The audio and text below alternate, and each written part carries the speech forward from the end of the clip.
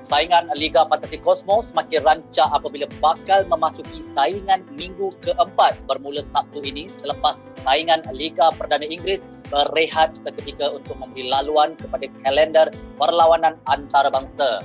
Setakat ini sudah ada 15 pemenang mingguan dipilih untuk menerima hadiah berupa wang tunai RM200 Malaysia setiap seorang sejak aksi sepak mula EPL dimulakan pada 14 Ogos lepas. Sambutan yang diterima cukup menggalakkan dengan lebih 6,000 pendaftaran di seluruh negara ketika ini.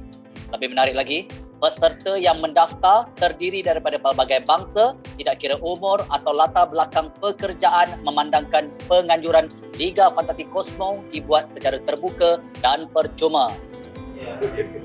Dapat menang bukan fantasi sebenarnya actually first memang tak tak sangka-sangka lah kan sebab first time saya menang tournament dan fantasi ni. So perasaan macam bau juga lah. Happy ada Excited ada. Uh, Pertama sekali memang perasaan tu gembira Sebab tak sangka. Sebab kita masuk dalam apa? Uh, Fantasi Cosmo ni Liga Fantasi Cosmo ni untuk suka-suka je.